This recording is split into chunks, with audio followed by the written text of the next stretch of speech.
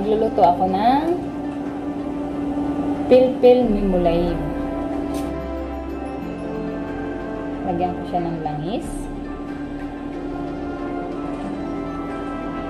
Pilpil mimulay. Guys, masarap to. Pag mainit na kawali. Chin,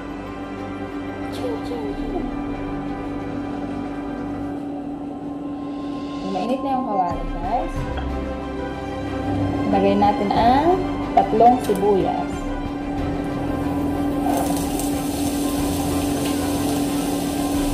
Mas madaming sibuyas, mas masarap.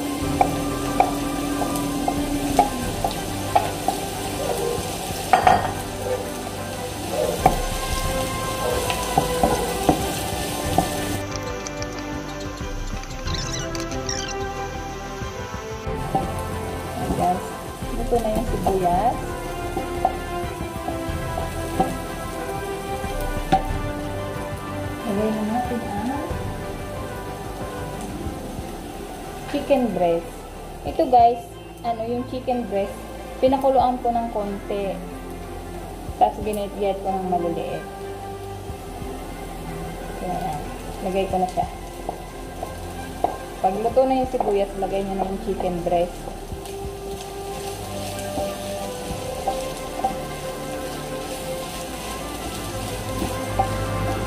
Yan talaga, wala akong mas malaking kawali. Kaya, ito na yung pinakamalaki kong kawali dito.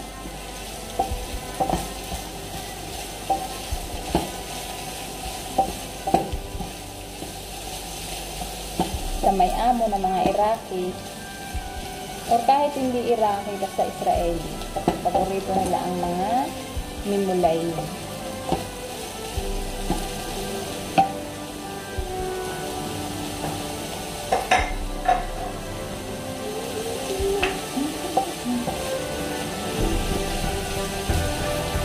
Luto na yung chicken, kaya konti lang to. Kasi mamaya lulutuin ulit to.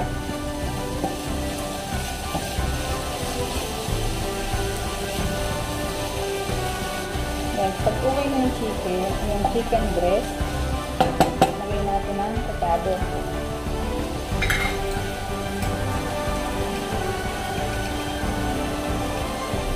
Isang kutsarang paprika. Paprika nito pa.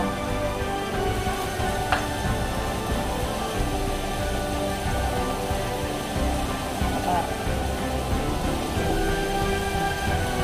one fourth lang na porko. Ito po ay luyang dilaw, porko.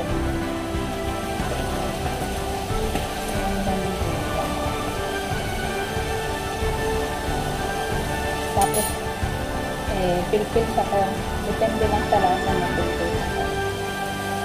Dito, natakot sa pilpil ko. Kaya, siguro mga one-fourth kutsari.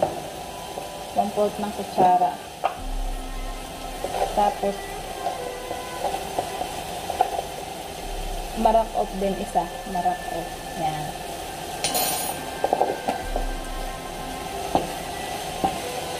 Haluin natin.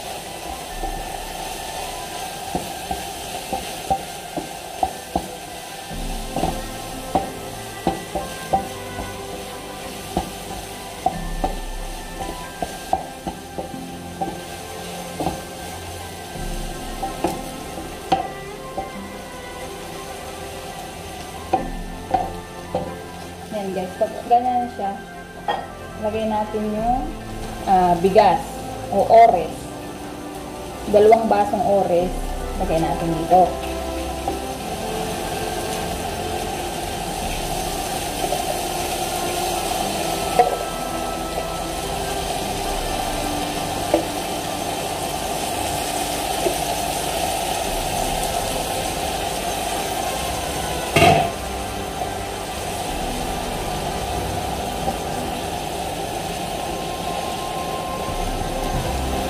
Hindi mo hindi mo siya kailangang lutuin ng lutong-luto. Parang hot cook mo lang.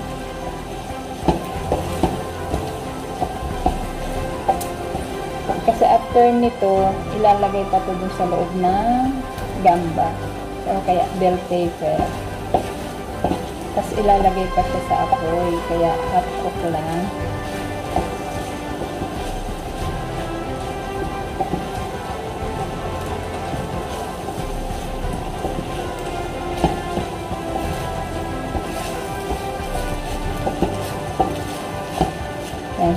Pagkakalo mo na yan, kaya nang lahok-lahok na siya. Lagay natin ang silic adon para maganda yung kulay.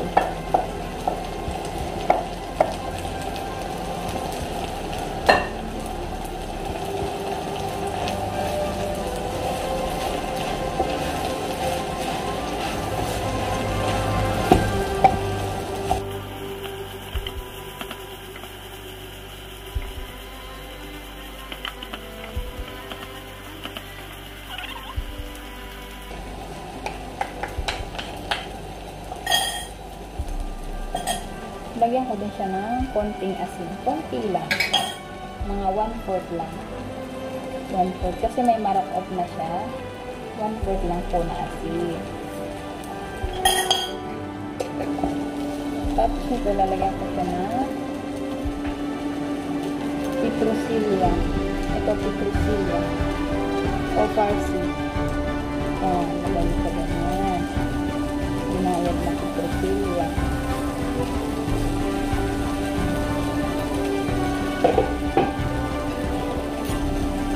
Tapos dalawang lem lemon. Ito ay ano, lemon na nilagay ko sa ice cream.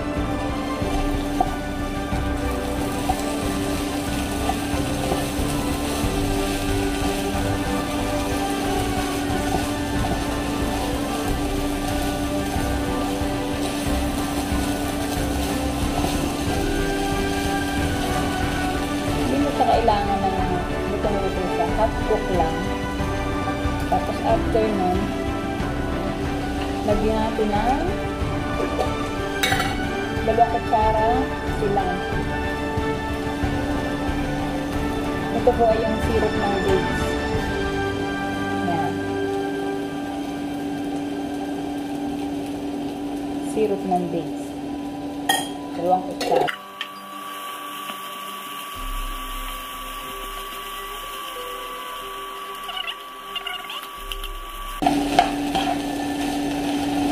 gamba or bell pepper.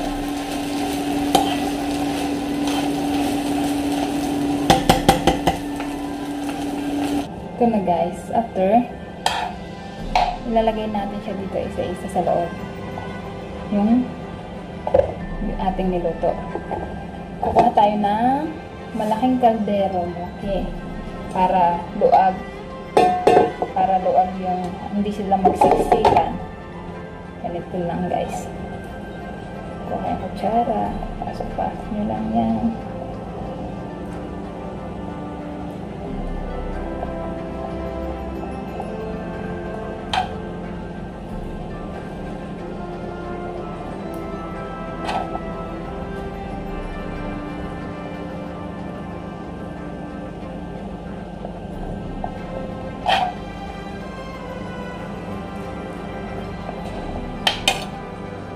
Yan guys, ganito lang.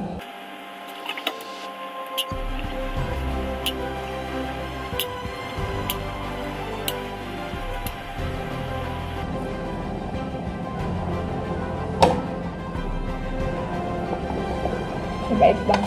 May green. Dito sa Israel, napakadaming klase ng bell pepper. May green, may light green, may red, may yellow. Depende sa gusto niyo kulay.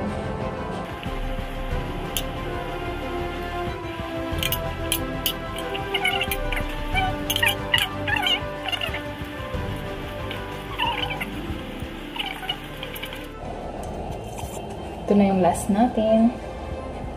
Yan. Lagay na natin siya together, together.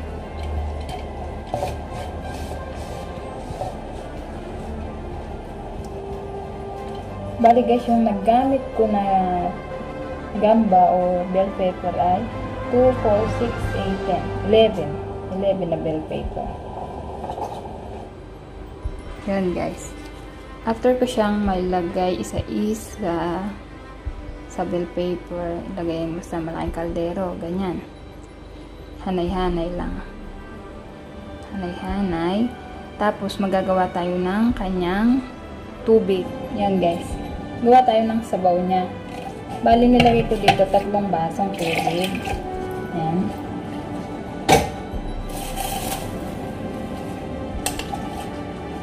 Tapos, uh, dalawang kutsarang, dalawang kutsarang, depende sa gusto nyong lasa. Pero para sa akin, mga dalawang, dalawang garpong madami na reset o tomato paste. Yan. Lagay mo yan sa tubig. Tapos ito yung sinasabi ko, ano, lemon na nasa ice cube. Madami kasi po kaming lemon dito. Kaya pag winter, nilalagay ko sa ice cube. Kasi pag summer, walang bunga ang lemon. So, lagyan ko ulit siya ng dalawa. Lemon.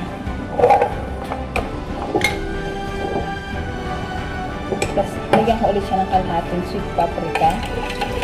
Para lang po sa color niya. Lagyan color niya.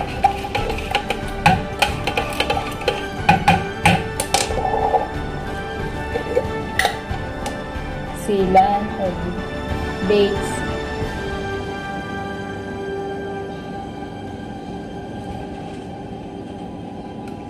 Tatlong kutsara. Tatlong kutsarang Tapos para may lasa yung tubig niya, either lagyan nyo ulit ng salt o kaya marak-off.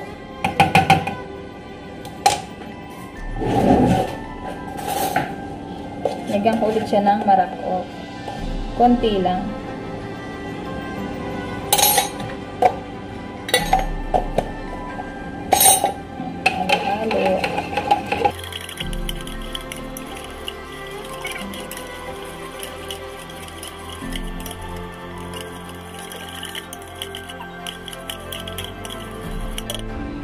Tapos yan guys. Lagay na natin yung sabaw niya.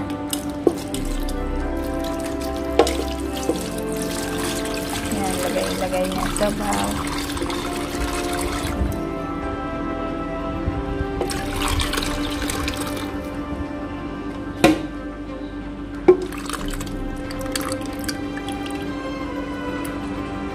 After nyan, kulo na siya. Pakukuluan na natin. Lagay natin sa gas.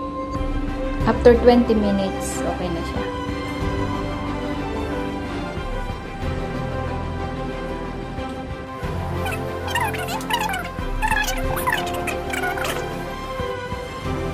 Yan guys, kumukulo na siya. Kaya kukunin ko na yung kanyang pinggan. Hey, mainit kaya liat, liat, liat, liat. Kumukulo-kulo na siya. Ang ganda-ganda ng kulay. Wala pa siyang 20 minutes, 15 minutes pa lang. After 5 minutes, lalagay ko pa siya sa tanur.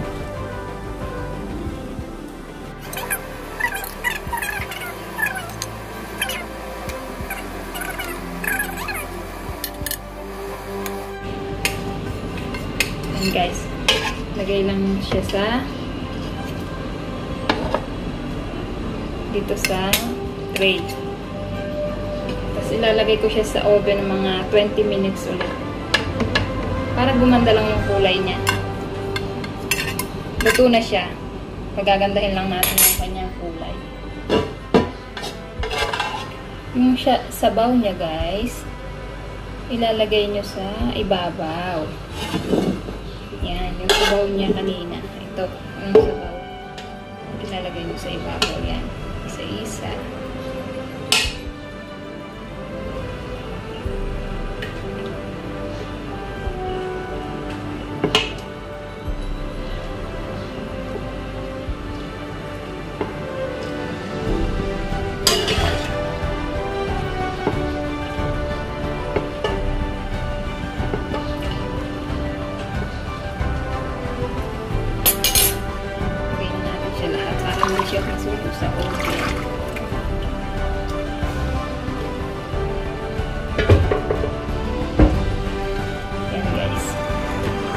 Nilagay ko siya sa oven ng 20 minutes. 200, 200 degree yung init niya sa oven.